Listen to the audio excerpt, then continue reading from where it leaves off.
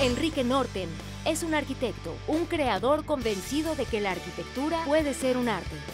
El fin último es siempre eh, poderle proporcionar a las personas, a la comunidad, a las ciudades, los mejores espacios. Es una gran satisfacción, ¿no? Poder regresar, poder encontrarse con la creación de uno existiendo.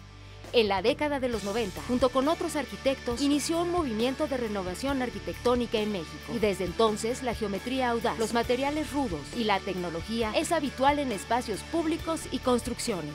Yo siempre pienso que tenemos el, enorme compromiso de poder de alguna manera manifestar tanto el tiempo como el lugar en el cual nosotros estamos viviendo, eh, poder manifestar o, o, plasmar a través de la arquitectura estos momentos tan fascinantes de globalidad, interconectividad. Ha sido acreedor a varios premios como la Medalla de Oro por parte del Society of American Registered Architects. Recibió el Premio Mundial de las Artes Leonardo da Vinci por parte del Consejo Cultural Mundial. Enrique Norten, un mexicano con iniciativa.